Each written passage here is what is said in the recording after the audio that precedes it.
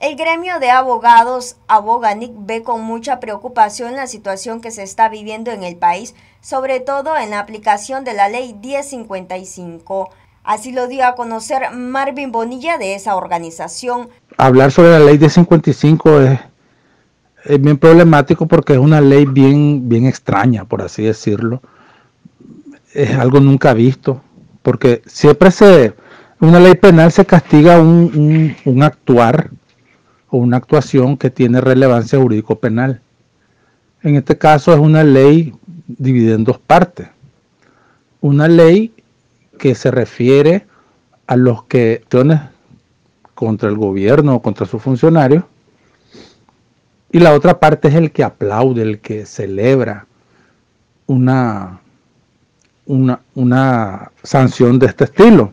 En este sentido es, es, un, es una ley que es extraña, por decir de más, porque ninguna ley en este mundo castiga las emociones. En este caso, aplaudir o celebrar. Es algo extraño. Pues. Bonilla afirma que estos combos de leyes están cumpliendo su objetivo y es que las personas sientan temor. En este combo de leyes aprobadas por la Asamblea Nacional, eh, realmente están cumpliendo su cometido, que es de que las, las personas eh, no sientan temor y, com y, comenten lo menos posible lo referente a lo político.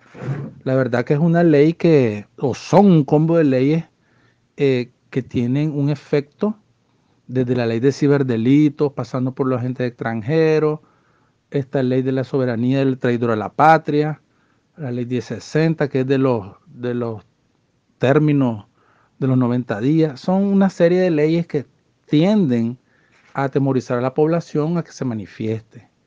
Y ustedes pueden ver o podemos observar en las redes sociales muy poca gente la que, la que comenta algún tipo de, de estas cosas, porque el temor es evidente. Vemos con preocupación cómo al pueblo o a los ciudadanos comunes eh, no se les en manifestarse en uno u otro sentido respecto a lo que está sucediendo con los señores ciudadanos con aspiraciones presidenciales o cualquier otro tipo de situación política relacionada, y eso que es un año electoral.